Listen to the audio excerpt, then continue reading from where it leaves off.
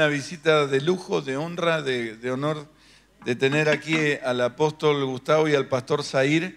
Eh, esto que iba a suceder en octubre sucedió ahora y la verdad que estamos muy agradecidos. Fue una sorpresa también para todos ayer, aunque nosotros con Adela sabíamos, pero tuvimos una reunión en el predio con varios pastores y la verdad que lo disfrutamos muchísimo.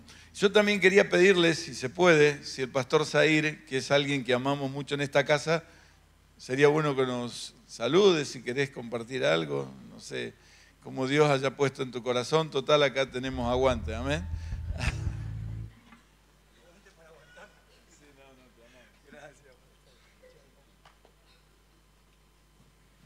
Buenos días.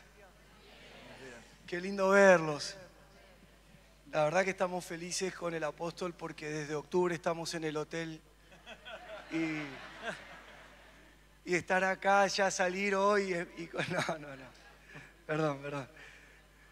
Fue eh, de verdad que es un privilegio eh, que nos da el Señor, bueno, que me da el Señor, que nos da, pero que me da a mí en particular de poder compartir con ustedes Nunca me canso de decir cada vez que tengo la posibilidad de estar en esta congregación con ustedes, con sus apóstoles, eh, el privilegio de lo que significa estar en esta casa y cómo esta casa inspira, eh, cómo esta casa modela, eh, enseña. Bueno, parecería como secuencia, pero verdad digo en el Señor. Y por supuesto que acompañar al apóstol y aprender es un regalo que, el Señor nos da. Así que muchas gracias a todos por tanto amor. Yo quisiera eh, en siete minutos poder compartirles, con permiso del apóstol, una palabra, si, si se puede.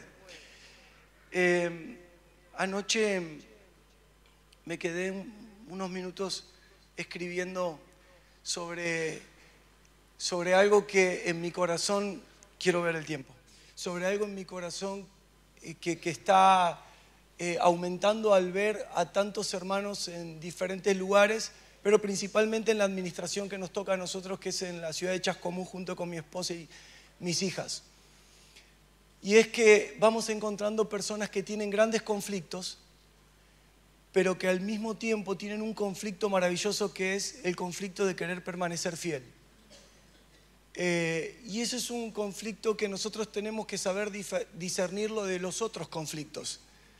Este es un conflicto maravilloso, es un conflicto en el buen sentido de la palabra que el Espíritu Santo provoca en las personas que aman la verdad, pero que solo no, que no, encuentran cómo llegar a eso o manifestar eso o querer, hay una desesperación interna una mezcla de cansancio, no se puede poner en palabras a veces lo que sienten las personas, pero quieren ser fieles.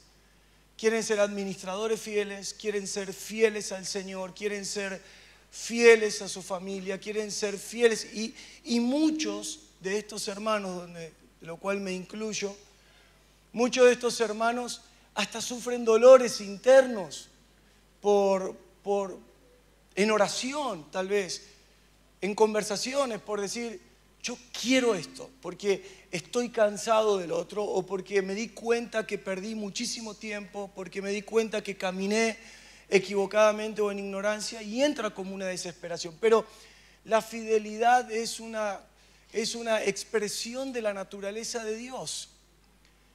O sea que nosotros, la fidelidad es algo que está en nosotros, que sale de nuestro interior y que se convierte en una, en una forma de vivir, donde lo que requiere tal vez es una buena administración y una responsabilidad de mantenernos fieles. Pero poder ver que hay una necesidad de querer ser fieles y exactos es muy bueno. Y lo que nosotros consideramos como un problema en realidad es el principio de una solución. Porque lo que nosotros estamos viendo e identificando es lo que tenemos que identificar algo que decíamos. Entonces ayer, eh, en estos tres minutos que me quedan, al menos quisiera nombrarles tres asuntos espirituales que pueden colaborar para mantener esa vida de fidelidad. Número uno, lo que yo entiendo, por supuesto, una vida de oración. creo que una vida de oración es clave, no orar, una vida de oración, una, vida que se disfruta orando. Y, recuerdo las palabras de Mateo en Mateo capítulo 24, versículo 41, para quien lo quiera anotar, en la nueva versión internacional que dice, estén alerta y oren para que no caigan en tentación. El espíritu está dispuesto, pero el cuerpo es débil. Y me gusta esta, acá en esta palabra en Mateo, no sé si estará en pantalla, en Mateo 26, existe, ok, ah, gracias apóstol. Existe una conjugación, es que me siento tan en mi casa que yo miro siempre la pantalla hacia atrás, entonces existe una conjugación en estas palabras muy interesante, dice estar alertas, y es importante prestarle atención a esa expresión estar alerta, porque tiene que ver con un enfoque y con un discernimiento permanente. Estén alertas, pero la conjuga con la palabra oración. Estén alertas, estén enfocados, manténganse, dice, eh, con un discernimiento, con discernimiento y oren. Y estas acciones, la escritura nos muestra que son necesarias para no caer en tentación, no para no ser tentados.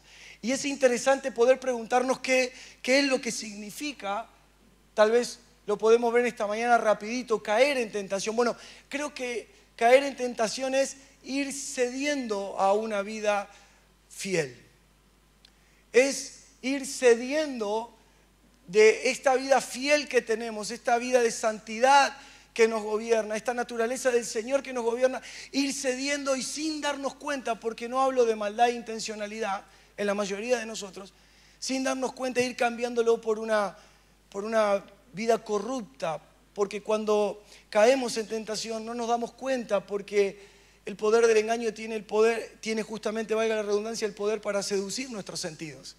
Por eso la vida de oración es importante, porque la vida de oración es una llave para mantener renovado el entendimiento y mantener rejuvenecido el interior.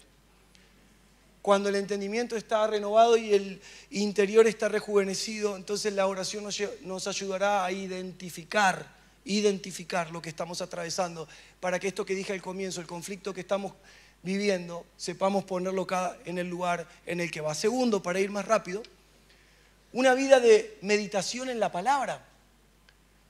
Yo creo que esto es, un punto importante para, para poder mantenernos fieles en tiempos como estos. La vida en la meditación de la palabra me recuerda al Salmo 1, capítulo 1, versículo 1, en la versión Dios habla hoy, dice, feliz el hombre que no sigue el consejo de los malvados, ni va por el camino de los pecadores, ni hace causa común con los que se burlan de Dios, sino que pone su amor en la ley del Señor y en ella medita noche y día. Ese hombre es como un árbol plantado a la orilla de un río que da su fruto a su tiempo y jamás se marchitan sus hojas. Todo lo que hace, dice las escrituras, le sale bien. Ahora, si observamos detenidamente el Salmo, lo que nos damos cuenta es que la meditación de la palabra termina siendo clave para la obediencia y el discernimiento espiritual. Porque la pregunta es, ¿qué significa meditar en la palabra? Esto hace referencia a no olvidar todo lo que Dios nos habló, nos habla por medio de su Hijo, por medio de las Escrituras. Si usted simplemente tomara sus notas de las últimas del mes de octubre, tal vez de la palabra que recibió aquí en su propia congregación, usted tiene la respuesta de lo que está pasando hoy. Porque Dios habla todo el tiempo. Solo que la falta de meditación y atención y trabajo en la palabra y en lo que Dios nos habla nos hace olvidar. Y entonces eso afecta la fidelidad. Es necesario meditar y tomar la palabra y trabajarla y pensar y tener en la mente todo el día. Por eso, si usted y yo analizamos nuestra propia vida, lo que nos vamos a dar cuenta es que tal vez a la mañana comenzamos con un ímpetu espiritual que a la noche no tenemos. A la mañana comenzamos con el consejo de Dios y a la noche terminamos gobernados con nuestros conceptos y preceptos de lo que vivimos todo el día. Pero creo que el tiempo que estamos arribando por este hambre de ser fiel es que así será todo el día de noche y de día meditaré en tu palabra. Y creemos que todo ayudará para bien. Y termino con esto en, el minuto que me excedí. El tercer punto me parece muy interesante porque creo que como nunca debemos permanecer bajo la guía del Espíritu Santo. creo que la fidelidad se fortalece en nosotros, se desarrolla en nosotros, la podemos administrar correctamente por medio de la guía del Espíritu Santo. Romanos capítulo 8, versículo 14 dice, todos los que son guiados por el Espíritu de Dios son hijos de Dios. Mire la expresión de esta palabra en esta versión. Todos los que son guiados por el Espíritu de Dios son hijos de Dios. Gálatas capítulo 5, versículo 16, en la nueva traducción viviente dice, por eso les digo, dejen que el Espíritu Santo los guíe en la vida. Entonces no se dejarán llevar por los impulsos de la naturaleza pecaminosa. Quiero que observemos para finalizar estas dos palabras, que cómo se complementan. ¿Por qué? Porque la guía del Espíritu Santo, ¿qué hace? ¿Qué hace? Nos confirma que somos hijos de Dios. La guía del Espíritu Santo nos confirma que somos hijos de Dios. Y hermano, cuando usted mira Mateo 4 y ve la tentación, la, tentación en el desierto, las palabras del diablo, ¿cuáles fueron? Si eres el hijo de Dios. No importa la piedra y el pan en este caso, en este ejemplo que estoy dando, es si eres el Hijo de Dios. Entonces, por la guía del Espíritu Santo, a través de los tiempos, nosotros seremos confirmados como hijos de Dios. Y dice, dándonos a entender que nada ni nadie más, ni siquiera nosotros, sino solo el Señor puede guiarnos a nosotros. Y quisiera con esto terminar. Observemos cómo la guía del Espíritu Santo nos va a ayudar continuamente a no ceder a los impulsos de la naturaleza de pecado que siempre busca tomar un lugar. Hermanos, la oración, la palabra, la meditación en la palabra, la guía del Espíritu Santo, al menos estas tres en esta mañana que quisiera compartirles como un pensamiento, son el combo perfecto para que este 2024 esté cargado de esperanza en el Señor, de saber que Él nunca, jamás, jamás abandona a sus hijos y que los pensamientos que vienen sobre nosotros de abandono son propios de la naturaleza de orfandad que ya no opera en nosotros, porque nosotros sabemos que somos hijos de Dios. Amén. Muchas gracias por la atención. Gracias, muy amables. Así que quiero, sin más preámbulos, quiero darle el lugar al apóstol y quiero que también usted lo reciba con, un aplauso. Sabemos que no es para él, pero sí, mira, algo que aprendí en Ecuador, que hay que pegar un grito, vamos, se le celebre. Ahora sí, hermana, gloria a Dios.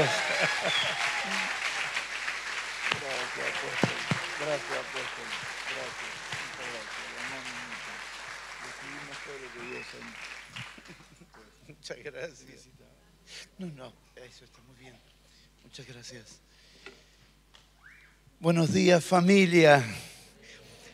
Qué alegría estar en casa, poder estar aquí, poder compartir, disfrutar juntos, ver cómo la obra sigue avanzando, cómo la vida del Señor sigue aumentando en cada uno de nosotros, ver esta casa de tanta excelencia, excelencia integral, excelencia espiritual excelencia en el servicio, excelencia en las canciones, excelencia en la palabra, excelencia en el auditorio. Es maravilloso que en un pueblo tan hermoso como este haya una congregación tan ferviente para la gloria del Señor. Y agradecemos al Señor. Al mismo tiempo, también queremos, en nombre del Señor, agradecerles a ustedes. No siempre la congregación sabe lo que sus líderes hacen y la repercusión que está teniendo en las naciones que han pisado sus apóstoles es impresionante. Los testimonios que continuamente llegan a nosotros de la tarea que ellos llevan a cabo no es una tarea fácil. Viajar parece lindo, parece placentero, parece divertido, parece casi eh, en la mente idealizada como lo mejor que nos puede pasar en la vida viajar, pero después del tercer viaje te duele todo. Después del tercer viaje conoces los 206 huesos, todos los músculos, tendones y recordás que ya pasaste los 60. Y la verdad que que ustedes los envíen, que ustedes oren por ellos, está dando mucho fruto para la gloria del Señor. Si las naciones hoy estuvieran reunidas aquí, de los muchos y miles que están siendo ministrados por sus apóstoles, hermanos, ustedes sabrían la gran tarea que están llevando a cabo para la edificación de la fe de muchos hermanos en muchísimas naciones. Sus apóstoles son altamente respetados en el cuerpo de Cristo. Tenemos el privilegio de conectar con personas eh, que los han conocido de hace 30 años, 40 años, 20 años atrás. Y el testimonio que dan de ellos es impecable. Y les confieso esto, siglo XXI, año 2024, no es fácil encontrar personas hoy de quien todos den buen testimonio. Y para la gloria del Señor, todos dan buen testimonio de sus apóstoles, de la familia y de esta casa. Y glorificamos a Dios porque esto sea así. A veces nos afecta más la vergüenza que la gloria, nos afecta más la vergüenza que la honra. Por ejemplo, si alguien tuviera que hablar de tus apóstoles y decir, eh, ellos han caído en pecado, ellos le deben a todo el mundo. Ah, vos congregás ahí en ese lugar donde los apóstoles este, engañan a la gente. Qué terrible sería uno quisiera esconderse debajo de la mesa y decir, no, yo no congrego ahí, yo fue un día nada más, porque un día es como mil años, ¿no? Entonces, fue un día nada más. Pero que te hablen bien de las personas que Dios ha puesto en tu vida para guiarte, enseñarte y fortalecerte en el Señor, eso es motivo de gloria, de sacar pecho y de tener un orgullo santo. Un orgullo santo, no, no, un orgullo equivocado, decir gracias Señor porque somos parte de una casa saludable. Así que gócense en el Señor que la obra y el testimonio de la casa está avanzando para la gloria de su nombre y ahora también con Rodrigo y Yani en España, en Noruega y hasta lo último de la tierra, porque ellos son internacionales. Están en un territorio, pero tocan todos los territorios también. Así que todos los nacidos de la casa, prepárense porque esas naciones van a quedar pequeñas y continuaremos en la Luna, en Júpiter, en Marte, en el sistema solar. Algunos no nos vamos a quemar porque ya estamos quemados. Pero a todos los de River sepa que le espera Marte que hace un frío. No van a extrañar el monumental, nada más y nada menos que con mucho amor, nada más. Eh, perdón por lo que acabo de decir, si alguien acaba de cerrar su corazón a la administración, perdóneme, todavía tengo que morir a eso. Feliz de estar con ustedes y no, es demagogia, tampoco obsecuencia. Es decir, que también para mí es un placer caminar con el pastor Zair, porque aprendo mucho de él también. Esta palabra que él compartió tal vez un poquito más de tiempo del que él mismo se limitó, porque son palabras que no merecen ser limitadas. Creo que si hubiéramos escuchado solo esa palabra, nos iríamos más que felices, porque ¿qué es lo que anhelamos en la vida? Ser fieles a Dios. No anhelamos nada más. Y el que ya lo tenemos, lo que necesitamos es el cómo lograrlo. Sabemos que tenemos que ser fieles, pero muchas veces no damos a la medida, no lo logramos y nos entristecemos y nos frustramos. Y cuando vienen palabras como estas, en porciones tan llenas de salud, de sabiduría y sanidad, uno se siente regocijado de saber cómo lo vamos a lograr. Sí se puede ser fiel a Dios. Sí es posible. Será con trabajo, será con esfuerzo, pero como nos ministró el apóstol Gabriel hace unos momentos, nos tenemos que esforzar, pero nos tenemos que esforzar en la gracia, porque sí se puede, pero tendremos que llevar una vida de oración, una vida de meditación y vivir bajo el gobierno del Espíritu Santo. Así que, Sair, muchas gracias. Es una palabra de riqueza eterna. Quisiera continuar lo que comenzamos ayer con los pastores, pero no será imprescindible haber oído lo de ayer para entender lo de ahora. Tiene su medida y su justa porción para que nosotros seamos enriquecidos esta mañana en el Señor. Esta canción que hemos cantado, Dios mío, riquezas de su gracia, riquezas de su gloria. Qué bueno es poder proclamarlo una y otra vez porque Dios nos ha concedido su gracia. y esperamos con la ayuda del Señor poder hablar esta mañana en algunos minutos acerca del trono de la gracia. Pensaba mientras estaba sentado escuchando la canción la diversidad de realidades que hay en esta mañana. No, no conocemos tu vida, pero el Señor te conoce bien. No sabemos cómo fue esta semana, tampoco sabemos cómo empezaste el año, tampoco tenemos los detalles de cómo están en la familia, ni cómo está el trabajo, ni cómo están los estudios para este año 2024, ni tu proyección en el servicio. Realmente no lo sabemos, pero el Señor lo sabe. Y lo bueno es que el Señor está atento a nosotros, pero al mismo tiempo que está atento a nosotros, Él requiere nuestra atención. Él quiere tomar toda nuestra atención porque las cosas que quiere hablar con nosotros van a resolver cosas que nos pasan en la vida. Hace unos momentos escuchaba al pastor seguir decir, si prestamos atención de lo que Dios nos habló de octubre hasta aquí, posiblemente entenderíamos lo que nos está pasando. Y quisiera repetir esa expresión, porque es verdad. Porque nada a nosotros nos pasa sin que Dios nos haya hablado primero. A veces me siento perdido, no porque esté perdido, sino porque he olvidado lo que Dios me habló. Cada cosa que nos va pasando en la vida es avisado, es advertido, es trabajado por Dios para que nosotros sepamos cómo reaccionar cuando llegue el momento. Y Dios es tan bueno, es un Padre tan amoroso que nos está ayudando a madurar. Y madurar significa no quitarnos los problemas, sino hacernos vencedores en medio de los problemas.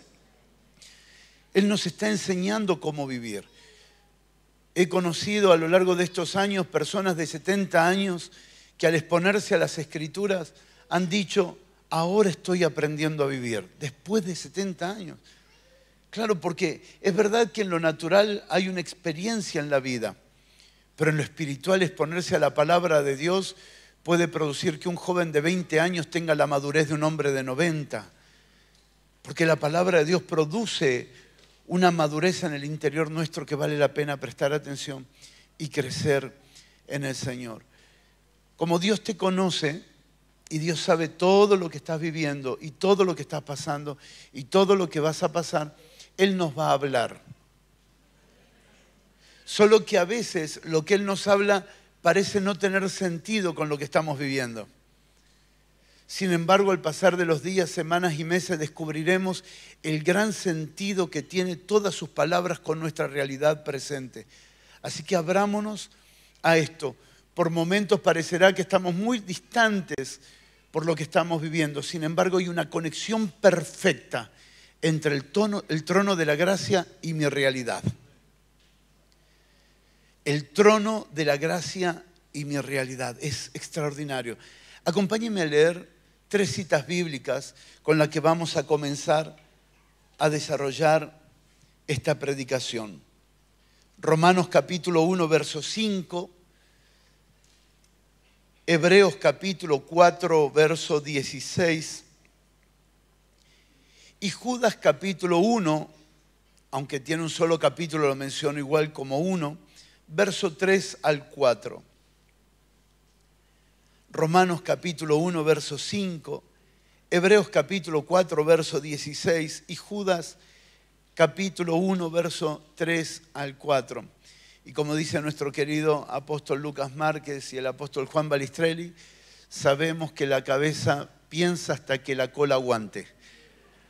Así que vamos a trabajar sobre esa premisa, hasta donde la cola aguante, ¿les parece?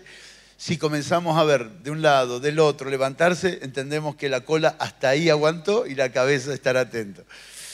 Por favor, no se mueva, que la cola aguante un poquito. Romanos capítulo 1, verso 5 dice, y por quien recibimos la gracia y el apostolado para la obediencia a la fe. Esta es la razón por la que recibimos la gracia y el apostolado. Para la obediencia a la fe en todas las naciones por amor de su nombre. Hebreos capítulo 4, verso 16.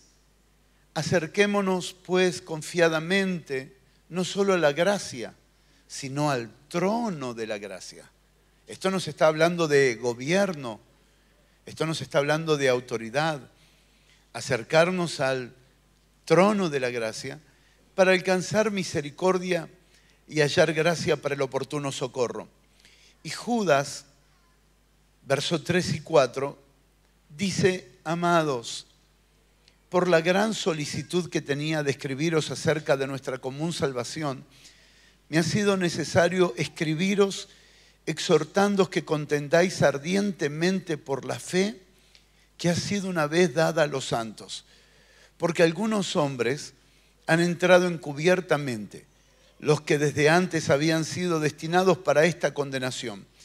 Hombres impíos que convierten en libertinaje la gracia de nuestro Dios y niegan a Dios, el único soberano, y a nuestro Señor Jesucristo. ¿Les parece si oramos y le pedimos ayuda al Maestro por excelencia que nos abra las escrituras? Padre, queremos darte gracias por reunirnos en el nombre de nuestro Señor Jesucristo y por la obra de tu Espíritu Santo cuando se abren las escrituras, porque nuestros ojos son alumbrados, el entendimiento crece y hay una impartición abundante de tu realidad en nuestro interior. Y salimos tan fortalecidos cada vez que nos reunimos, que no importa lo que venga, lo que está en nosotros, nos hace más que vencedores por causa de lo que nos has dado cuando nos reunimos en tu nombre. Señor, gracias por la congregación, gracias por el lugar de reunión, gracias por lo que hace tu Espíritu Santo cada vez que nos reunimos en el nombre de Jesucristo. Ahora sometemos esta palabra a tu intervención, confiando que tú nos enseñarás toda verdad, nos guiarás a toda verdad y alumbrarás nuestro entendimiento en tu realidad. Amén y amén. Gracias Señor. Ayer compartimos, por gentileza de los apóstoles, con los pastores acerca de Romanos capítulo 1, verso 5. Y fue tan interesante estudiar cómo recibimos del Señor la gracia y el apostolado. Para producir qué cosa en los hermanos, para producir qué cosa en las personas. Obediencia, obediencia a la fe para salvación de nuestras almas. Obediencia al Señor en todas las naciones. Obediencia al Señor en cada uno de esos lugares que el apóstol nos señalaba y que cuando él lo mencionó, me recordé que la primera vez que llegué aquí en esa tarde, me acuerdo que cuando llegué lo primero que me pasó fue mirar ese mapa. Y quedé conmovido y dije, nuestros corazones están unidos. Porque una obra tan grande podría estar mirando solamente la casa, pero una obra tan grande solo puede estar mirando las naciones. Y de ese día quedaron nuestros corazones unidos para siempre, porque entendimos que nos unía el amor por el Señor y la obediencia a la fe en todas las naciones. Pero esta obediencia tiene una particularidad. No es la obediencia del legalismo, no es la obediencia impuesta desde afuera, es la obediencia que se produce por amor al Señor. Y cuando alguien obedece por amor al Señor, hermano, nada es costoso, nada es pesado, nada es difícil, nada es imposible. Cuando alguien ama al Señor, la obediencia es un placer y es un deleite. Jesús no murió solamente porque tenía que morir, Él murió por amor a su Padre. Él no solamente obedeció porque tenía que obedecer, Él obedeció por amor a su Padre. Por eso Él menospreció el sufrimiento de la cruz, menospreció la cruz porque vio el fruto que venía por delante, el fruto de la aflicción de su alma. Nada es costoso si el obedecer es por amor al Señor. Y esta es la obra que se espera que se construya en cada corazón, en cada familia, en cada congregación y en toda la iglesia, para la obediencia al Señor por amor de su nombre. Pero ahora nos encontramos con una palabra interesante, que es la palabra gracia y apostolado. Gracia es lo que Dios nos da, gracia es lo que Dios nos provee. Y gracia es mucho más de lo que podríamos dedicarnos aún a estudiar un año por entero, ocho horas por día.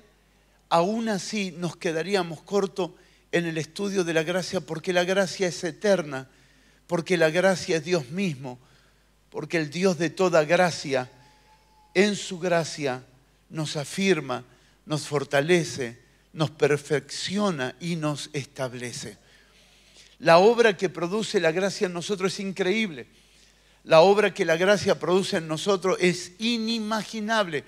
Y quisiera llamar tu atención para Primera de Pedro capítulo 5, verso 10, porque es un pasaje donde no deberíamos colocar la atención en las aflicciones, sino que deberíamos colocar la atención en el Dios de toda gracia. ¿Se anima a leer con nosotros este pasaje, por favor? ¿Lo leemos? ¿Les parece? Mas el Dios de toda gracia. ¿Se anima a repetirlo otra vez? Mas el Dios de toda gracia. Siempre que leas las escrituras, coloca tu atención en la revelación de Dios. No en las cosas, no en las personas y no en las circunstancias. Porque cuando quitamos a Dios del centro de las escrituras, nuestras interpretaciones son equivocadas. ¿Qué es lo valioso de este pasaje? El Dios de toda gracia. Ahí debo colocar mi atención. Que nos llamó a su gloria eterna. ¿Y quién es esa gloria eterna sino su Hijo, nuestro Señor Jesucristo? ¿Quién nos trasladó de la potestad de las tinieblas al reino de su amado Hijo? Nuestro Padre. Él nos llamó para estar en Cristo. La gloria de estar en Cristo. Y algunos no lo valoran porque lo ignoran. Algunos no valoran lo que significa estar en Cristo. Para algunos es estar en la iglesia, para otros es estar en CFA, para otros estar en la congregación de la Boulage o de Firmat. Para algunos es si yo congrego en la organización o en la red o congrego en la denominación, pero la gloria de nuestro llamado es que Dios nos trasladó de las potestades de las tinieblas al reino de su amado Hijo.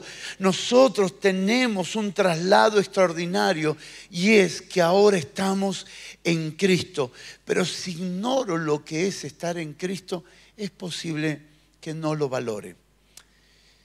Imagínese a alguien levantándose a la mañana un domingo diciendo, hoy no tengo ganas de ir a la congregación.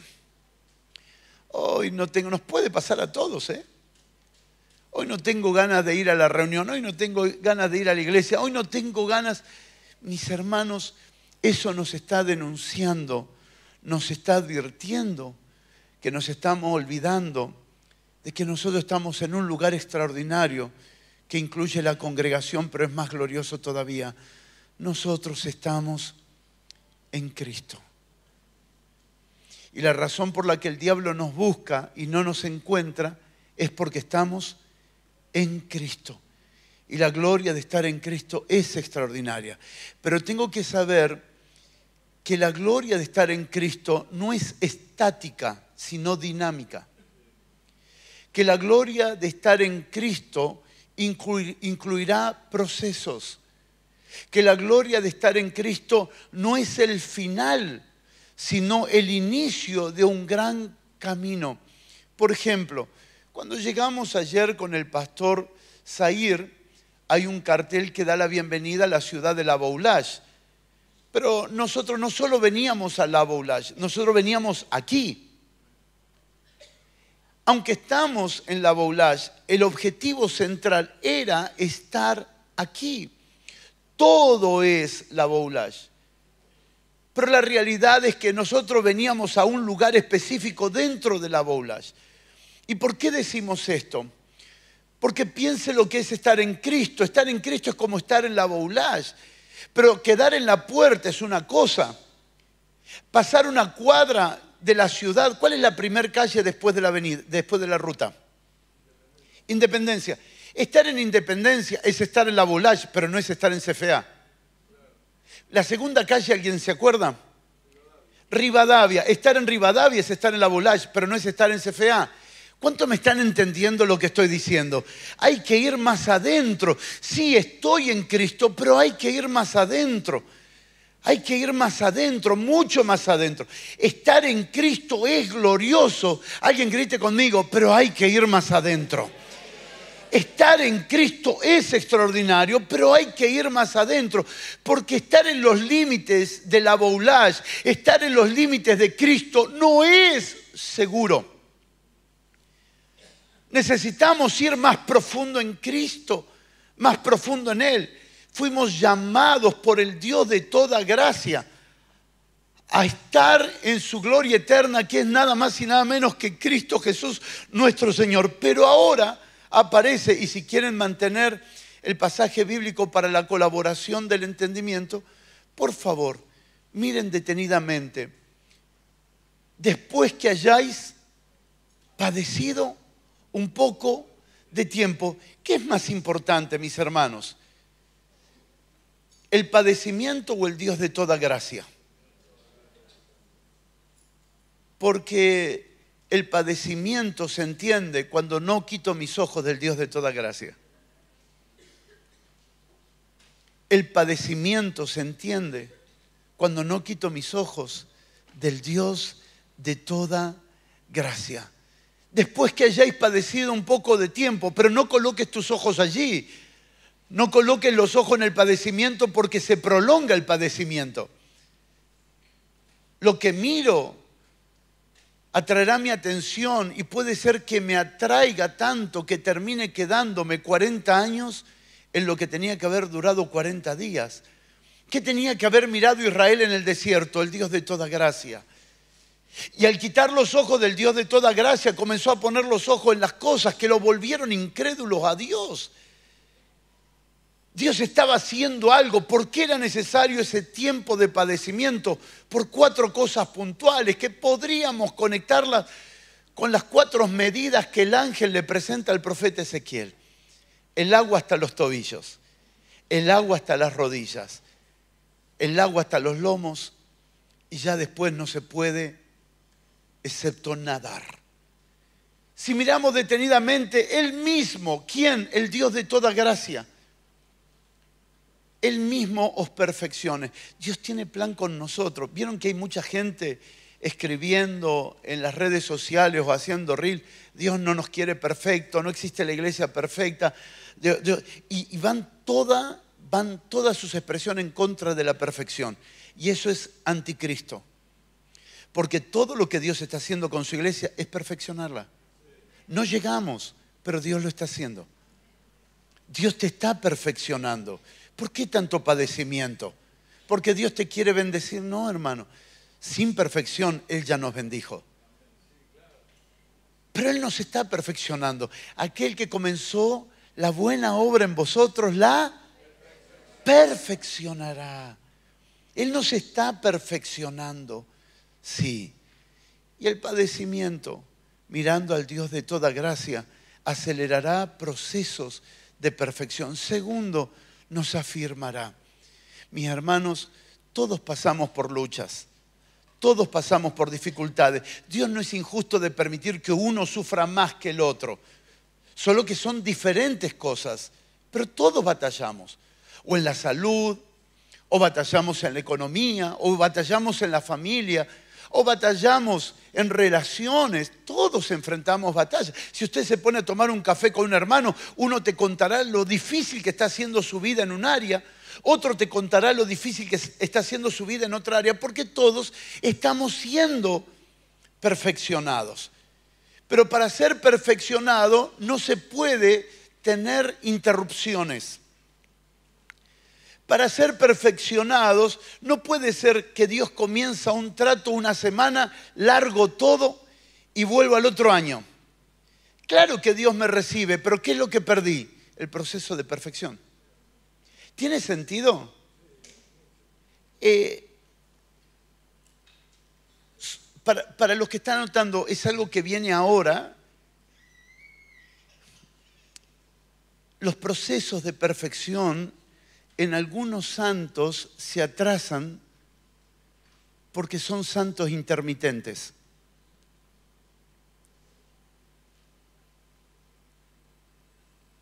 No retrases el proceso de perfección por las aflicciones. Si soy demasiado voluble a las circunstancias, lo que se retrasa es nuestra perfección. Y para eso Dios tiene que hacer una segunda cosa. ¿Alguien puede repetir conmigo para dar tiempo a los que escriben? Afirmarnos. Personas firmes son perfeccionadas más rápido. ¿Tiene sentido? Porque al estar afirmados, no tiene que empezar Dios todo el tiempo con la misma prueba. Si todo el tiempo estamos con la misma prueba, no estamos avanzando en nuestra perfección. La vida irá proponiéndonos diferentes dificultades como la vida escolar. No tenemos la misma prueba en séptimo grado que la que tuvimos en primer grado, porque en la medida en que vamos creciendo en el entendimiento, las pruebas van aumentando. Tampoco son las mismas pruebas de séptimo grado que la de quinto año de la secundaria. No son las mismas pruebas, porque las pruebas van aumentando en la medida en que estamos siendo perfeccionados.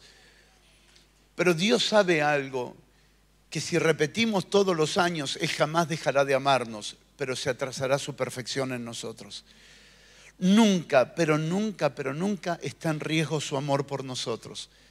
Lo que está en riesgo es nuestro modelo de perfeccionamiento. Lo que está en riesgo es la medida de perfección que como iglesia del Señor vayamos creciendo. La tercera cosa que harán estos tiempos maravillosos es fortalecernos. Y esta fortaleza viene del Dios de toda gracia. Pablo, no quiero quitarte el aguijón. Pablo, quiero darte gracia porque tienes que descubrir una fortaleza superior. Muchos de los que estamos aquí ya conocemos nuestra mente y sabemos hasta dónde aguantamos. Muchos de los que estamos aquí conocemos nuestro cuerpo y sabemos hasta dónde aguantamos. Antes cuando era pibe me gustaba jugar cuatro horas al fútbol, llegaba a casa, tomaba la merienda, cuatro horas de fútbol más. Ahora me pasa lo mismo con la FIFA. Juego con la Play cuatro horas, descanso y cuatro horas después. Porque ya sé los límites de mi cuerpo. Yo sé cuáles son mis debilidades. Tú las sabes. Tú conoces tus límites. Sería bueno conocerlos, reconocerlos para poder correr a la gracia. Porque quien se cree demasiado fuerte prescindirá de la gracia. Pero los débiles no tenemos otro destino que correr en oración a recibir todos los días la gracia del Señor, conocer nuestros límites, nuestras debilidades. El Dios de toda gracia no está esperando que vos seas fuerte. El Dios de toda gracia está esperando que en las crisis descubramos nuestros límites. Alcemos los ojos a los cielos y digamos, Dios, más gracia por favor. Y después con los años vas diciendo, yo sabía que por ahí no hubiera pasado jamás si no fuera por su gracia. Y entonces comenzás a testificar de cómo la gracia te ha fortalecido para vencer. Y por último, establecernos para que no seamos movidos nunca más de allí. Para que no seamos movidos nunca más.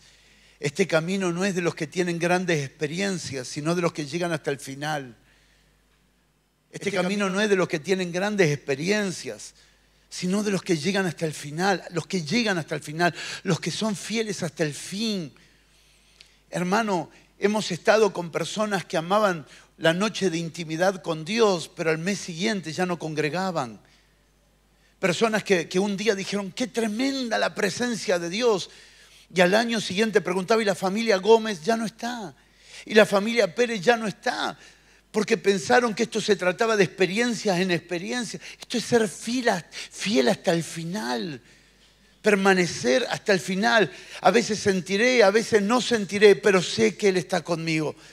Sé que Él está en mí. No estoy buscando una experiencia, estoy buscando un conocimiento real de su persona y ser establecido, que pase lo que pase, llegar hasta el final. No queremos ser como el hongo que crece y desaparece. No queremos ser como esas estrellas fugaces que aparecen en el cielo y desaparecen. No queremos ser como esas personas que cuentan grandes testimonios y después no los ven más.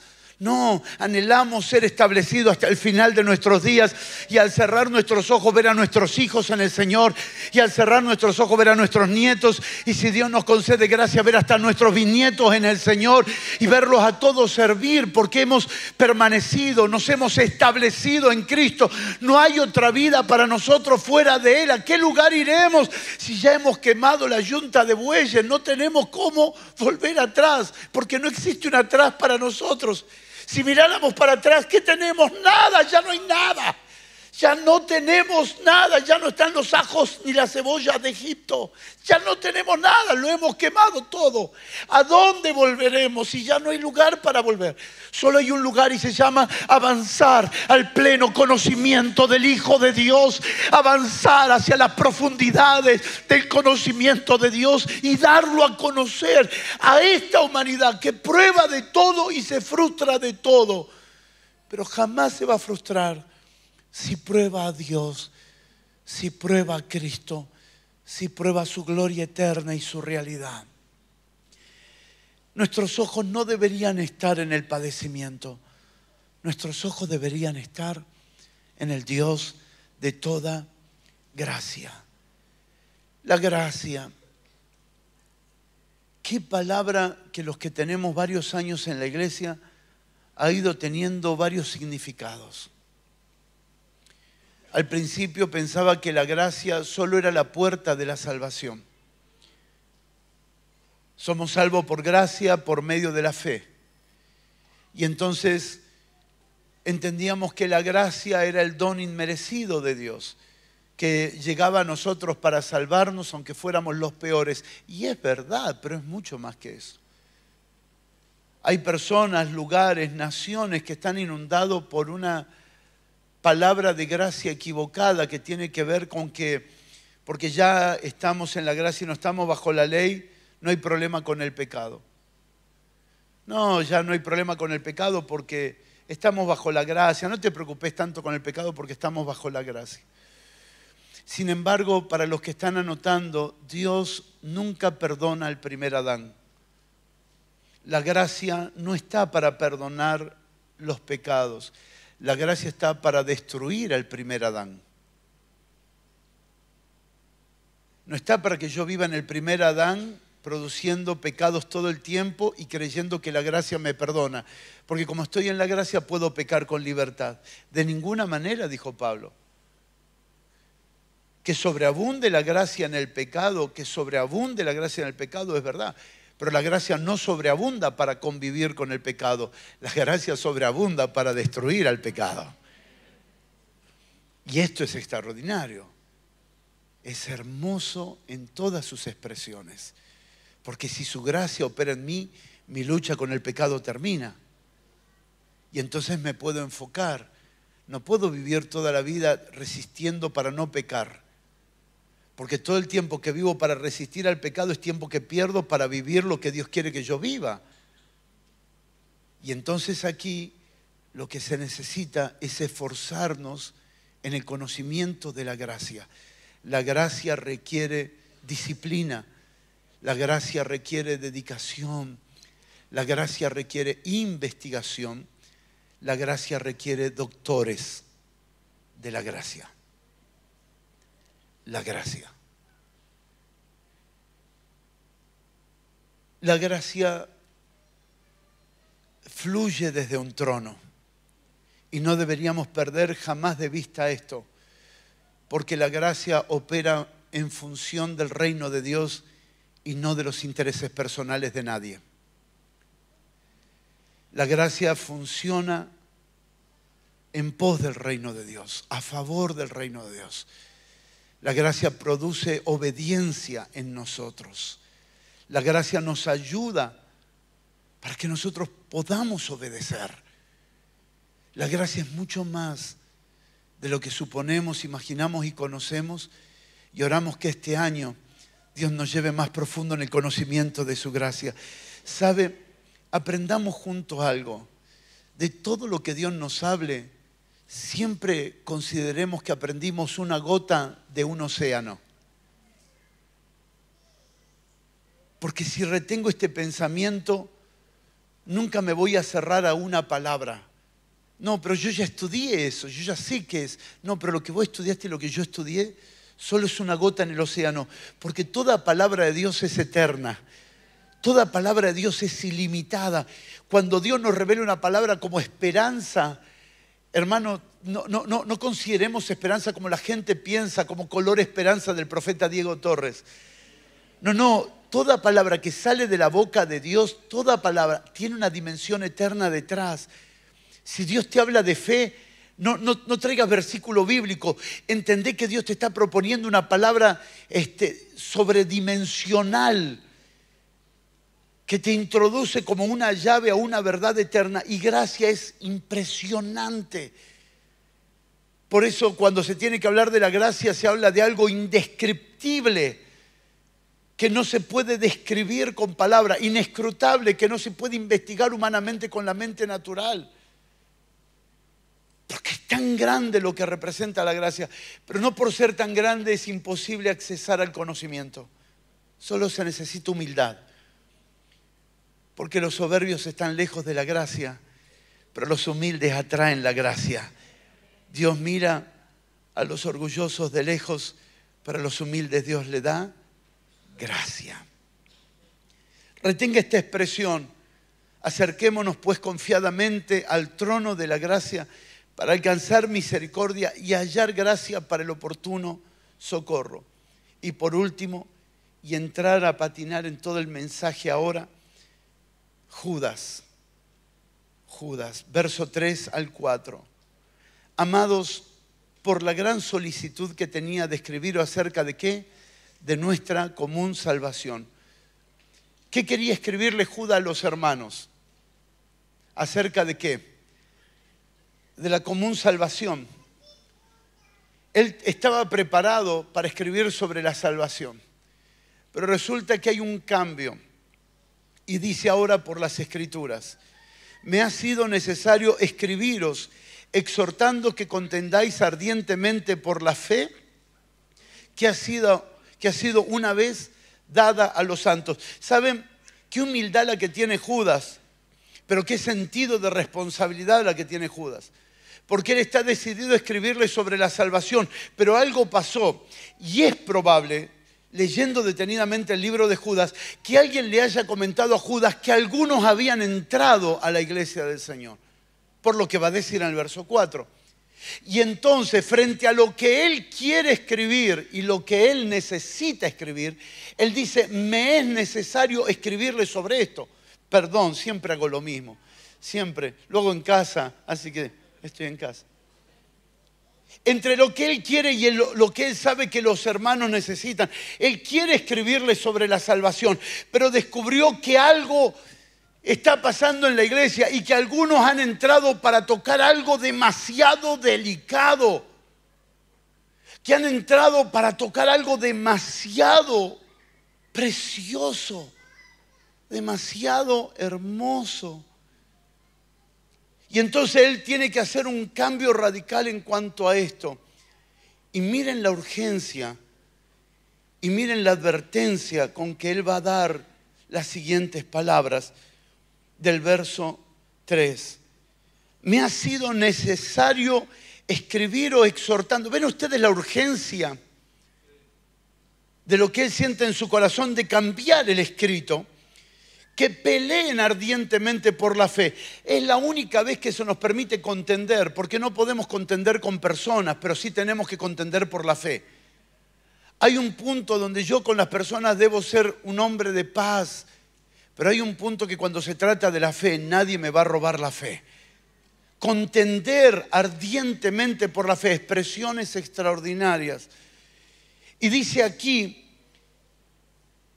que han entrado, verso 4, algunos hombres encubiertamente. Hicimos un estudio del libro de Judas, hermano. Lo compartimos en Miami, creo que fue el, el sí, Miami, febrero del 2022, hablando acerca detalladamente cada una de estas palabras. Le aseguro que es escalofriante este libro, porque este libro nos pone en la antesala de la revelación de Jesucristo. Porque ¿cuál es el próximo libro después de Judas? Apocalipsis. Y Judas se necesita para una generación que quiere ver a Cristo en toda su magnitud y en toda su gloria. Algunos han entrado encubiertamente y no en cualquier momento. Han entrado cuando Cristo estaba a punto de manifestarse de una forma extraordinaria. Siempre que estamos en la presencia de una revelación más profunda de Cristo, pasarán cosas en las naciones, pasarán cosas en nuestras provincias, pasarán cosas en nuestras ciudades, pasarán cosas en nuestras vidas, pasarán cosas en el clima, pasarán cosas en el gobierno, pasarán cosas en la economía para robarnos la atención. Pero independientemente de lo que pasa en el gobierno, en la economía, en el clima, en las ideologías, nada nos robará la atención de nuestro Señor Jesucristo.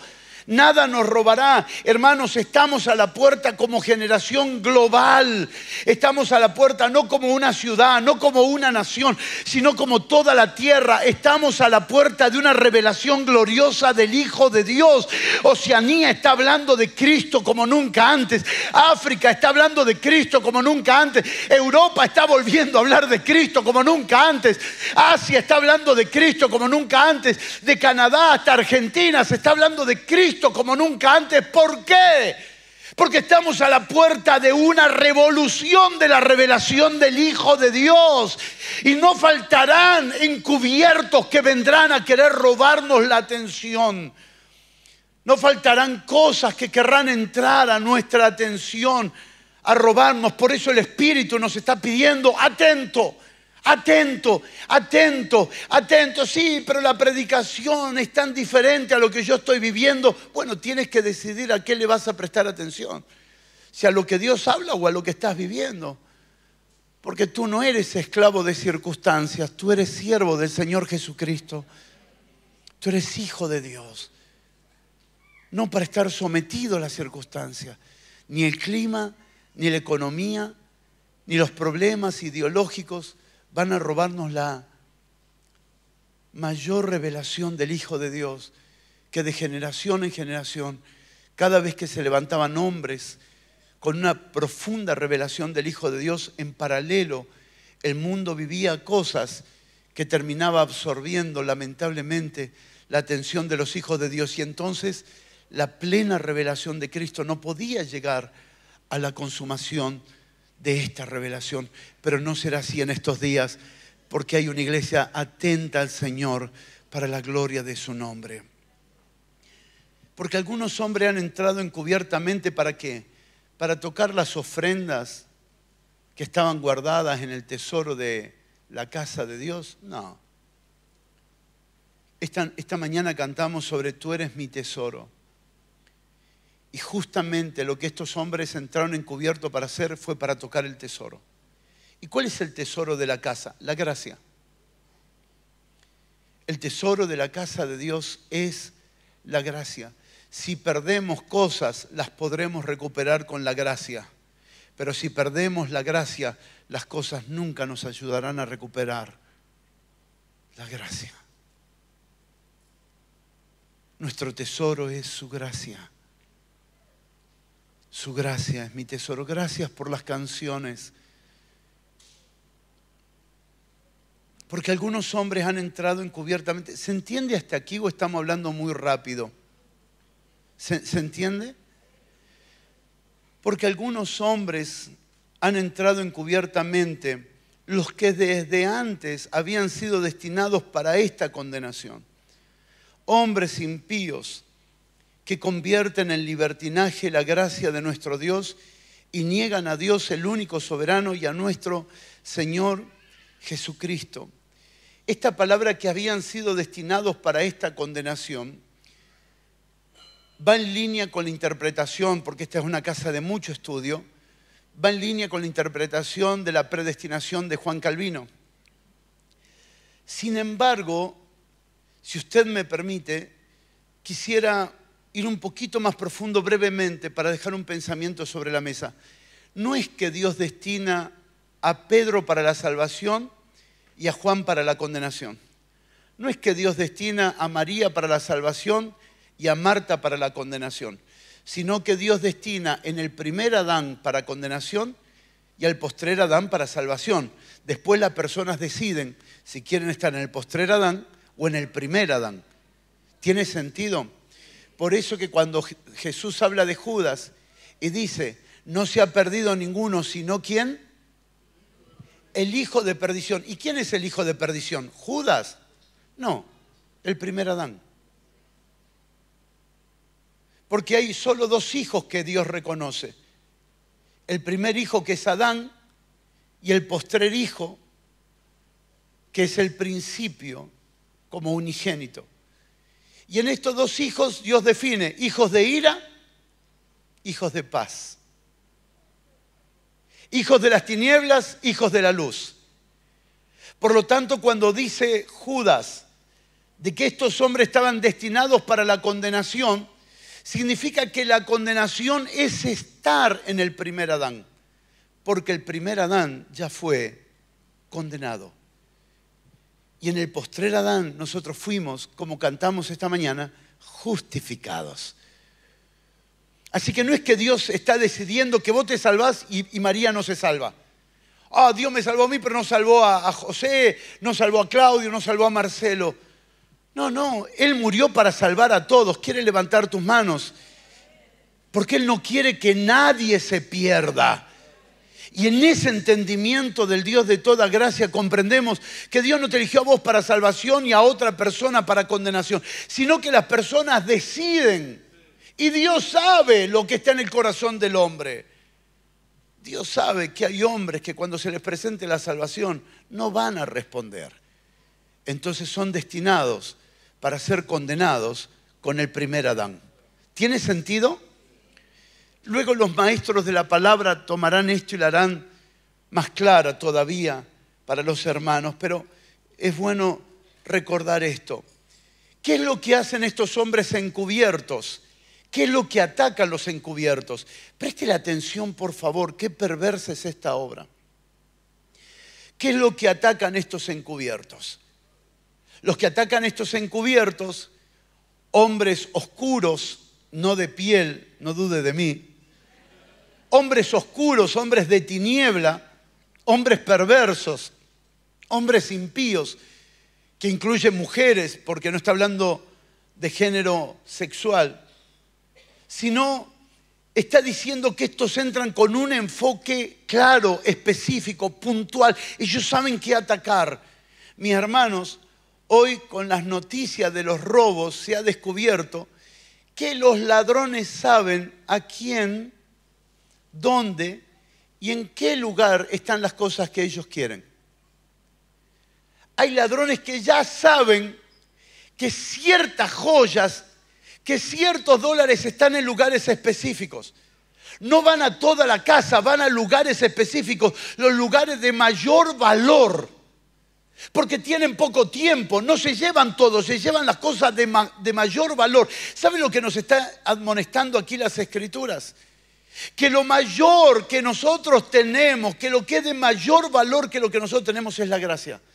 Y que estos encubiertos, impulsados por las tinieblas, vienen para vaciarnos de la gracia, vienen para robarnos la gracia, vienen para quitarnos la gracia, no vienen para causarte problemas, no vienen para causarte injusticias, no vienen para causarte enfermedades, no viene porque el fin central del diablo no es robarte la salud, es robarte la gracia. Porque hay gente enferma que llena de gracia soporta su enfermedad. Es increíble, hermano, conocer personas con dolencias en su cuerpo que nadie podría imaginar los dolores que tienen. Solo poder hablarle por un momento del apóstol Teresa Paz, tienen que reconstruir con una cirugía toda su cintura. No puede estar sentada, no puede estar acostada por minutos, no aguanta los dolores. Y usted la ve haciendo videos extraordinarios con una sonrisa impresionante. Yo tengo un dolor de cintura y me tengo que acostar una semana. Cuando yo me enteré en Mozambique cómo había viajado la profeta Adela, yo no podría imaginar esos dolores durante 12 horas de vuelo, 18 horas de vuelo, 24 horas de vuelo. Es que la gracia es mayor que nuestras enfermedades. El diablo no está intentando sacarte la salud, está intentando quitarte la gracia, colocándote tus ojos en la salud. El diablo no está intentando quitarte dinero, sino por medio del dinero intentar robarte la gracia. Él no quiere destruir tu familia porque no le importa tu familia. A él no le importa tu familia. Tienes que saber que al diablo no le importa tu familia. Lo que le importa al diablo se llama que la gracia no crezca en tu familia. Es la gracia nuestro tesoro. ¿Quieres levantar tus manos? Es la gracia nuestro tesoro. ¿Quieres proclamarlo y pedirle al Espíritu Santo que nos los revele? Porque debería cuidar más la gracia que mi propia vida, debería cuidar más la gracia que mi propia salud, debería cuidar más la gracia que el dinero, debería cuidar la gracia en mí sobre todas las cosas, porque su gracia es lo que me fortalece, me afirma, me perfecciona y me establece. Es su gracia, su gracia. ¿Quieres abrazar a alguien y decirle tu tesoro es su gracia? ¿Qué fueron a atacar estos encubiertos? ¿Qué fueron a robar estos encubiertos? La gracia. Si te roban algo, no has perdido nada. Si te roba la gracia, lo perdimos todo. ¿Tiene sentido, hermanos? Ahora fíjense con qué está conectada la gracia. Porque dice, convierten en libertinaje la gracia de nuestro Dios. ¿Y cómo continúa? Y niegan a Dios, el único soberano, y a nuestro Señor Jesucristo. Si se toca la gracia, la imagen de Dios como soberano se pierde. ¿Cuándo fue la última vez que le dijiste al Señor, tú eres el soberano de mi vida? ¿Cuándo fue la última vez que le dijiste, tú eres el soberano de mi familia? ¿Cuándo fue la última vez que dijiste, tú eres el soberano de mi destino? ¿Cuándo fue la última vez que le dijiste, Señor, tú eres el soberano de mis tiempos? La gracia nos mantiene conectados a su soberanía. La gracia nos mantiene alineados a su soberanía. Señor, tú eres soberano soberano de todo lo que tengo, soberano de todo lo que soy, soberano de mi pasado, soberano de mi presente, soberano de lo porvenir. Tú eres soberano. Es maravilloso llamarlo a Dios por todos los nombres que la Escritura lo menciona, pero hay algo de la gracia que te conecta continuamente con su soberanía. No importa lo que pase, sé que estoy bajo su soberanía. El, el concepto, el entendimiento, la revelación de su soberanía nos da paz nos da paz, nos da paz. Señores, ¿alguien puede entrar de otra nación argentina y llevarse lo que es de Argentina sin tener un convenio, un acuerdo con el gobierno de nuestra nación? Señores, nadie invadió el costado de Argentina llevándose peces que le pertenecen a la soberanía argentina si alguien no hubiera vendido los derechos de ese lugar porque no se puede tocar la soberanía de una nación y no tener problema con su gobierno. Tú no puedes tocar algo que está bajo la soberanía de Cristo y no tener problema con el soberano. Por eso cuando eh, eh, Saulo persigue a la iglesia, el, Señor, le dice, ¿por qué tú me persigues? Porque el que toca lo que está bajo mi soberanía me está tocando a mí. Cuando tocaron a la iglesia, tocaron la soberanía del Señor. Tú no eres cualquier cosa, tú eres propiedad del soberano, del rey de reyes y del Señor de señores. La gracia te recuerda que es tu Padre, pero también es el soberano de los reyes de la tierra. La gracia te recuerda que tú no estás a merced de las tinieblas para que ellos hagan lo que quieran contigo, que hagan lo que quieran con tu familia o con tu destino, porque tú estás bajo una soberanía divina y la gracia te recuerda, te conecta, te, te, hace permanecer alineado a su soberanía, conscientes de que mi vida pertenece al soberano. reflotemos por Dios esas canciones. Soberano, soberano, soberano. Sí. Claro, si me roban la gracia, negaré la soberanía de Dios. Y no es negar en términos de yo no creo en la soberanía de Dios, no es ese tipo de negar. Ese negar es no reconocer que estoy bajo su soberanía. Ah, hermano, ¿quieres levantar tu mano y disfrutar conmigo? Quien reconoce que está bajo su soberanía, duerme tranquilo. Yo no sé cómo, pero Él es soberano de todo. Él lo hará. No sé cómo vamos a hacer este año con el estudio de los chicos. Tranquilo, Él es soberano. Y tu casa está bajo su soberanía. ¿Cómo vamos a hacer esto? ¿Cómo se hará aquello? Y si este año aumentan las lluvias, ¿cómo vamos a hacer con el campo? Tranquilo, Él es el soberano de los cielos, de la tierra y de toda la creación. Él es el soberano. La gracia te mantiene conectado con su soberanía. Oro al Señor que este año, por la gracia, permanezcamos en paz. Que tu familia no va como va la nación que tu familia no será arrastrada como será arrastrada la nación, que tu familia está siendo guiada por el soberano de los reyes de la tierra, que es el Dios de toda gracia. ¿Por qué atentan contra la gracia? Porque si el soberano te gobierna, el diablo está en problemas. El diablo no tiene un problema contigo y conmigo, el diablo tiene un problema con el rey de reyes con el Señor de señores. Yo tengo que salir del escenario porque si no me victimizo. Si no salgo del escenario, cuántas luchas que tengo, cuántas pruebas que tengo, me hace acordar al profeta Ignacio Copani, ¿no? Para los que nos están mirando del exterior es una canción que dice cuántas minas que tengo. ¿No? Entonces, cuántas pruebas que tengo. Y parece que a mayor cantidad de pruebas más ungidos somos. Y le vamos dando calidad de gobierno a las pruebas y nos comenzamos a victimizar. No, descansamos en su soberanía por la operación de su gracia que opera en nosotros. Pero ¿cómo se hace, apóstol, cuando el diagnóstico es tan violento para recordar que Él es soberano cuando miras a tu hijo acostado en el hospital? Cuando miras a tu mamá recostada con tubos por todos lados. ¿Cómo se hace? No, tú no puedes. La gracia sí. La gracia te mantiene en los momentos más difíciles de la vida conectados a su soberanía. No intentes hacerlo con tus fuerzas, no se puede. Es su gracia. Y mire si su gracia será tan imprescindible que Jesús la necesitó. Jesús no solo crecía en edad, Jesús crecía en gracia y sabiduría. ¿Tiene sentido?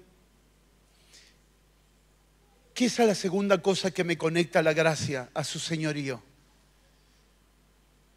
La gracia mantiene su señorío en nosotros. La gracia nos recuerda que Él es el Señor de nuestras vidas. La gracia nos recuerda todo el tiempo que estamos para obedecer. ¿Se acuerdan que leímos en Romanos 1.5? Por quien recibimos la gracia y el apostolado para qué? Para la obediencia a la fe en todas las naciones por amor de su nombre. ¿Creen ustedes que podríamos obedecer a Dios sin su gracia?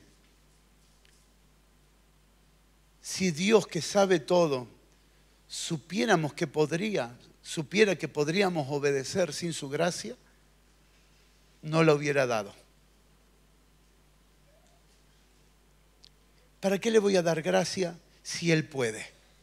¿Para qué le voy a dar gracias si ella puede? Pero como Dios sabe que nosotros no podemos, diga el débil, fuerte soy, porque su gracia me ha fortalecido.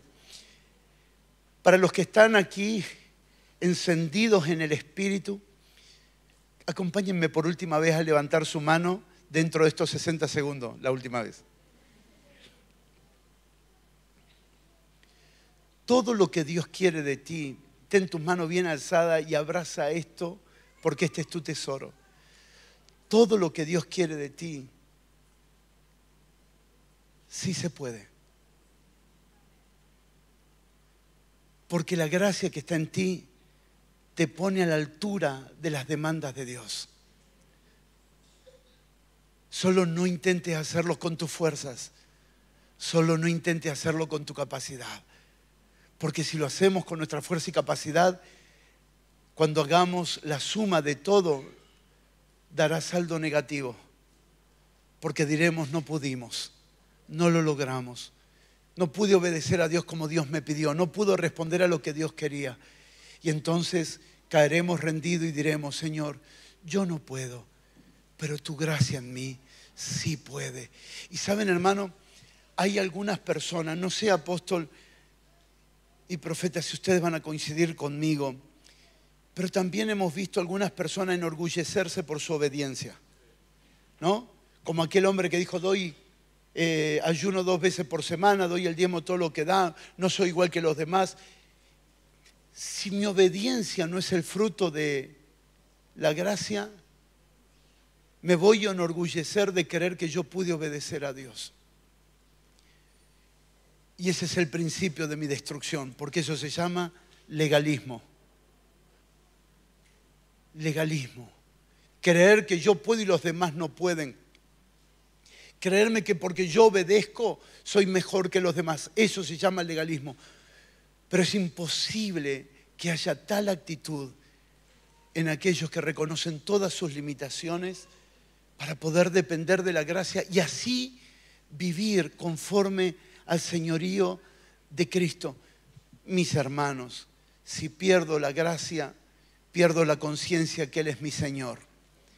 Y nuestra generación no tiene problema en decir, Jesús es mi sanador, Jesús es mi libertador, hasta, más, Jesús es mi amigo. Pero ¿quién es el que me inspira a decir Jesús es mi Señor? Sino la operación de su gracia dentro de nosotros. Si esta mañana usted y yo podemos reconocer que Jesús es nuestro Señor, es porque su gracia está operando dentro de nosotros. Y sabe, es, es interesante que cuando reconocemos que Jesús es nuestro Señor, hay una paz en todo nuestro ser, casi al borde de ser juzgado por tus parientes y amigos y vecinos como irresponsable. Y bueno, ¿qué vas a hacer este año 2024? Claro que hay proyectos, deseos y planes, pero todo está sujeto a su señorío. Y nuestra paz reposa en su gobierno, no en nuestros planes. Porque muchos planes hay en la mente del hombre, pero es Dios quien ordena su camino. Y su señorío produce paz, mis hermanos, la gente está en un estado de consternación. Nosotros vivimos otra realidad, cantamos, nos reímos, nos reunimos, celebramos al Señor, oramos unos por otros y nos animamos y disfrutamos. Pero esta no es la realidad de la gente. La gente se reúne o para pecar o para hablar desgracia. La gente se reúne para contar sus miserias, sus inseguridades, sus temores, sus aflicciones. Y claro que tiene cierta lógica tales cosas. Claro que hay cierta confusión que tiene este, cosas comprobables en la mesa. ¿Cómo será esto? ¿Cómo será aquello? ¿Cómo será lo...? Pero los que estamos bajo su señorío, sabemos que Dios puede producir una moneda de la boca de un pez. Y no precisamente el pez significa que sea una alcancía. Sabemos que si damos gracias por dos panes y cinco peces podemos comer toda la semana y compartir con el barrio. Su señorío te inspira a confiar en su poder. Quieres levantar tus manos y disfrutar. Su señorío. Pero ¿cómo hago para vivir consciente de su señorío? Su gracia. ¿Me permite ir un poquito más ahora? El diablo tiene terror al señorío de Cristo. El diablo tiene terror al señorío de Cristo. Y el diablo tiene terror a una familia que vive bajo su señorío. El diablo tiene terror a una congregación que vive bajo el señorío de Cristo, porque en definitiva él no ve ni a la persona, ni a la familia, ni a la congregación, sino a quien está viendo a Cristo mismo. Cuando tú vives y yo vivo, cuando nosotros vivimos bajo el señorío de Cristo, el diablo tiene terror porque Él tiene un nombre que es sobre todo nombre. Él tiene un nombre que es sobre todo nombre. Él fue hecho Señor sobre todas las cosas. Y el diablo no puede parar nada que nazca del señorío de Cristo no puede detener a nadie que funcione bajo el señorío de Cristo. No se puede obstaculizar a nadie que haya sido enviado por el señorío de Cristo. Pero no puede atentar. ¿Creen ustedes que Satanás puede atentar contra la soberanía de Dios? Solo una vez lo confrontó y le fue re mal para toda la cosecha. ¿Creen ustedes que Satanás se puede parar contra el señorío de Cristo? Es imposible, ya lo venció. Lo despojó venciéndolo en la cruz para siempre. Satanás no puede atacar la soberanía, Satanás no puede atacar el señorío de Cristo. Pero ¿qué es lo que va a intentar atacar Satanás? La soberanía de Dios en los creyentes. El señorío de Cristo en los creyentes. ¿Y cómo lo ataca? Quitándole la gracia. Esta, esta mañana, si pudiéramos ver juntos el gran sistema operativo de las tinieblas para robarnos lo que nos conecta con la expresión de su soberanía a nuestra generación, para robarnos lo que nos conecta con la gran expresión de su señorío en nuestra generación. Estos encubiertos tal vez ya no sean personas de carne y hueso presentes aquí, pero pueden ser ideas, pensamientos, argumentos, fortaleza de la mente que me impidan darle valor a lo que es la gracia del Señor. A los más crecidos, a los más maduros, a los más entendidos, les suplico que establezcamos nuestra vida en una dependencia de su gracia, que nos conecta con la realidad de su trono y de su gobierno que nos conecta con la realidad de lo que representa su señorío y su autoridad. Para finalizar, acompáñenme a leer un pasaje que ustedes conocen, está en segunda de Pedro, capítulo 3, verso 16 al 18. Segunda de Pedro, capítulo 3, verso 16 al 18.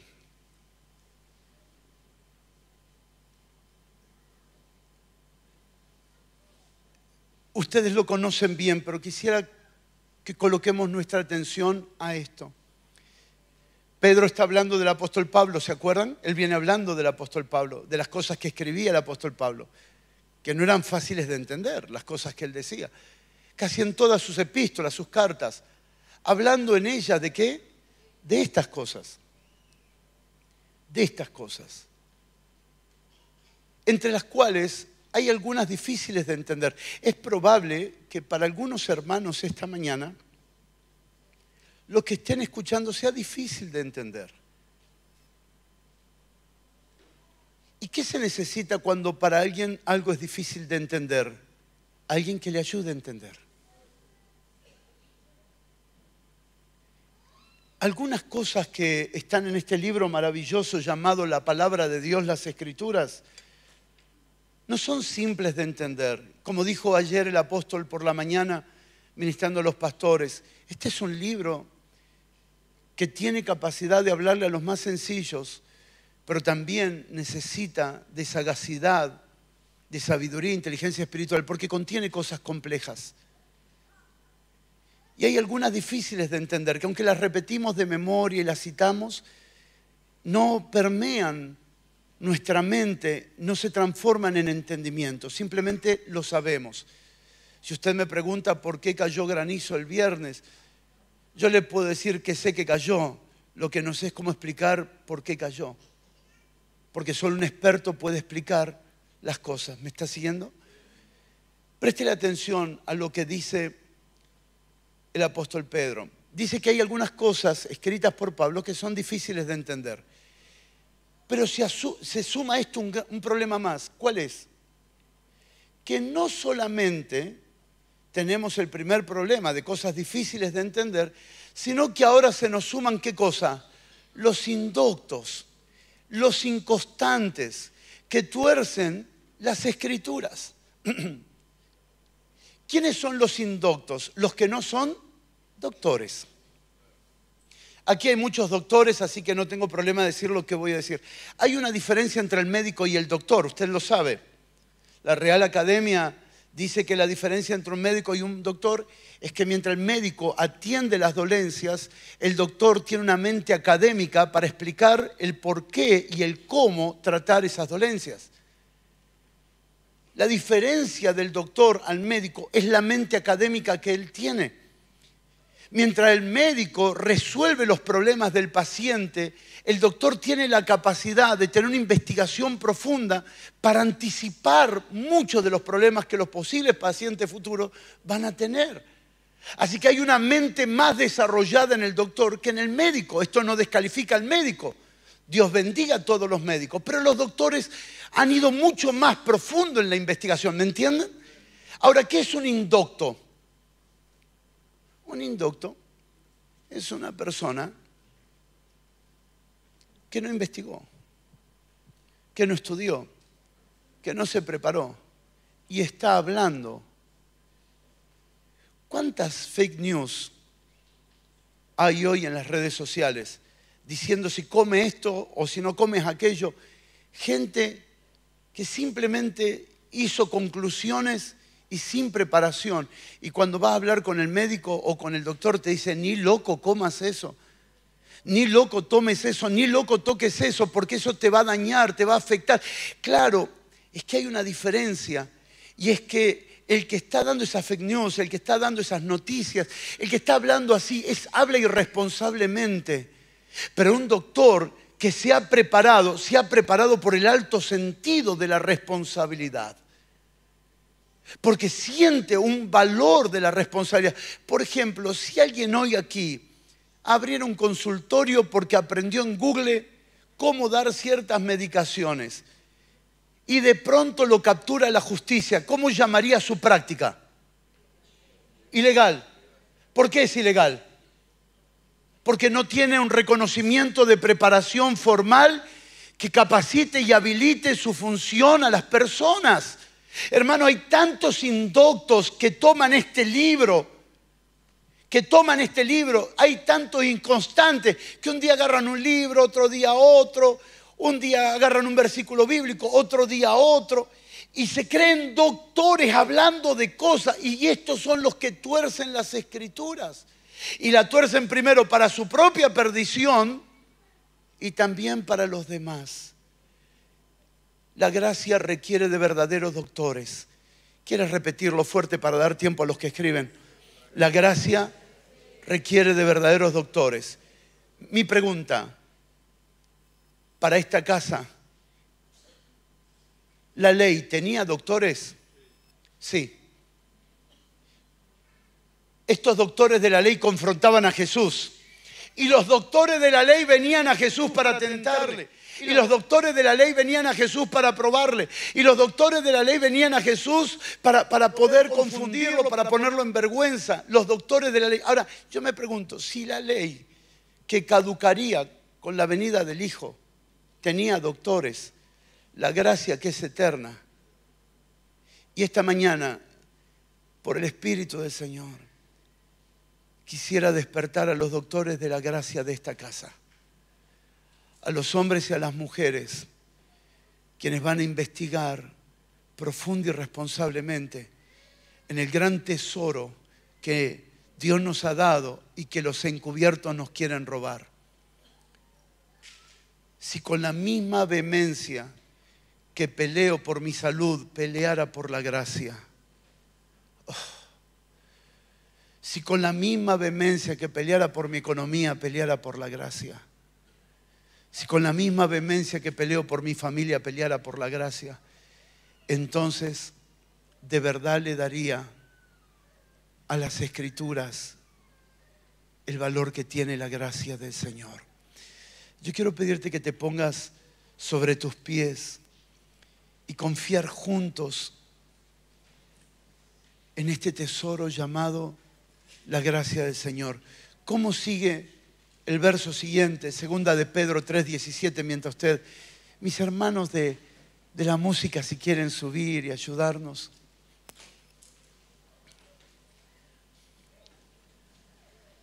Mire el verso 17 como dice. No se emocione que vamos a terminar, ¿eh? Si alguno se emocionó que ponernos de pie es terminar. Verso 17, se anima a leerlo en voz alta con nosotros. Así que vosotros, oh amados, ¿cómo, cómo? Sabiéndolo, ¿qué es lo que debo saber de antemano? Que me quieren robar la gracia. Sabiéndolo de antemano, guardaos. ¿Me tengo que guardar a mí?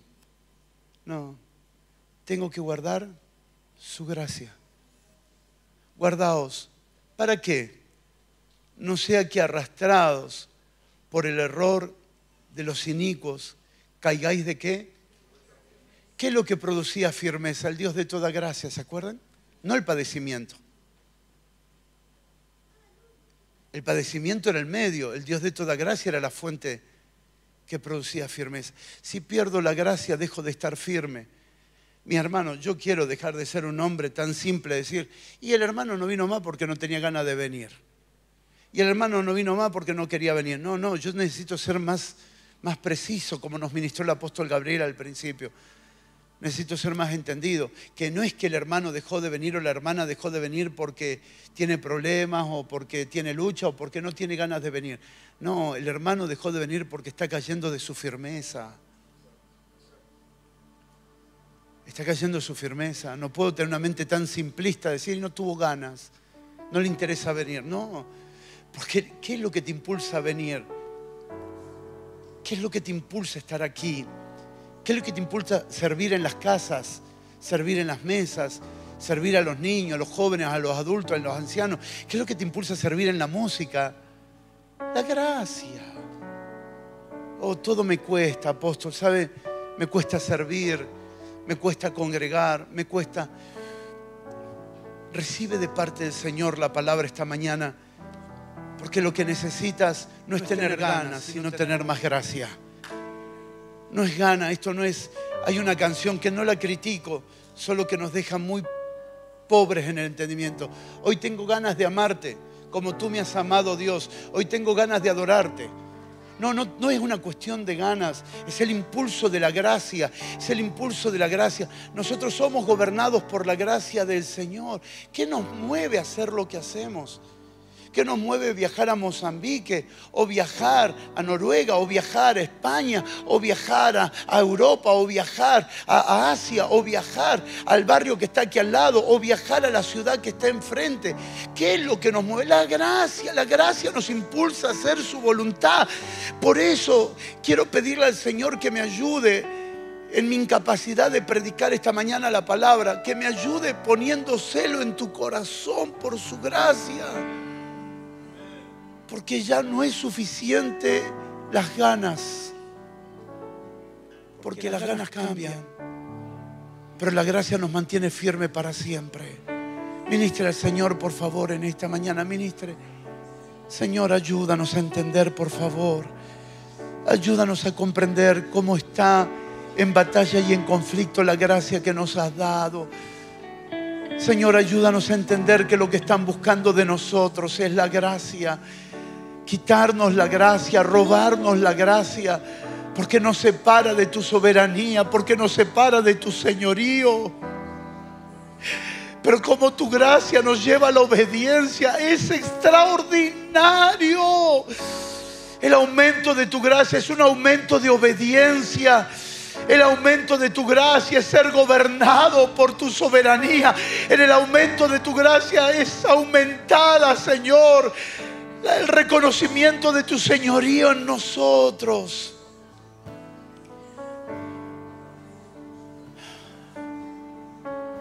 ¿Sabe, hermanos?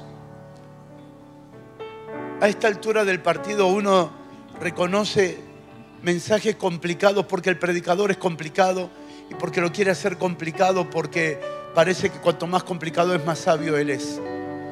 A esta altura del partido ya reconocemos todos eso.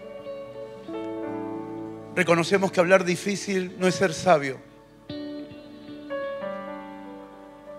Pero hay asuntos que requieren verdadera madurez, verdadera dedicación, verdadera atención.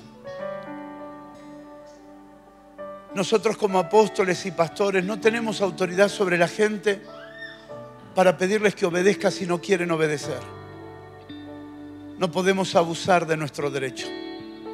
No podemos obligar a nadie a que obedezca. Y si alguien no quiere obedecer, es mejor que no lo haga a que lo haga de mala manera. No tenemos autoridad, no podemos dar ni recompensas ni castigos. Hay una sola manera que nosotros podemos dirigir y servir a los hijos de Dios, y es que la gente quiere obedecer al Señor. Nuestra pregunta es esta. ¿Querés servir al Señor? Sí. ¿Por qué? Porque le amo. Esa debería ser nuestra única respuesta. Quiero servir al Señor porque le amo, porque Él es todo para mí, no porque sé. No quiero tocar la música porque sé. No quiero ser maestro porque soy maestro en la sociedad y ahora soy maestro en la iglesia. No quiero hacer algo solo porque sé hacerlo. Es por amor al Señor. Por amor al Señor. Mi corazón, nuestro corazón. Debe ser por amor al Señor. Y de ese amor nace la obediencia. Es hermoso ver a una mujer que obedece a su marido porque le ama. Es triste ver mujeres abusadas porque tienen que hacer cosas simplemente porque son la esposa y tienen que estar sujetas a la cabeza. Pero cuando una mujer ama, una mujer se entrega. Cuando una mujer ama, una mujer obedece. Pero una mujer ama cuando primero ella se siente amada. Una mujer ama cuando se sabe amada. Una mujer se entrega y se rinde cuando se sabe amada porque sabe que a quien se está rindiendo jamás abusará de ella. Sabe que lo que le pide jamás será egoísta. Se sabe amada, por eso quiere amar. Nadie nos amó tanto como el Señor. Nadie nos amó como Él. Nadie merece nuestro amor como el Señor pero encontramos que aunque queremos amarle, tenemos un alma que lucha con las cosas de esta tierra. Y entonces Dios ha dicho, ¿quieres amarme? Sí, Señor. ¿Quieres obedecerme? Sí, Señor. Entonces te doy mi gracia. Búscala todos los días. Y todos los días, como Israel salía a buscar el maná, fuera del campamento, sal fuera de tu, de tu comodidad y busca mi gracia. No cambiará el maná, no cambiará la gracia, porque mi gracia te será suficiente hoy y siempre. Quiero hablar en esta mañana a los que aman al Señor. Quiero hablar en esta mañana a los que anhelan obedecer y corresponder ese amor. Y decirte, hermano, hermana, sí se puede, sí se puede obedecer a su soberanía, sí se puede responder a su señorío, sí se puede vivir en obediencia por amor de su nombre, porque su gracia es suficiente para ayudarnos a responder en obediencia por amor. Más, más gracia más gracia en este día. Más gracia, más gracia, más gracia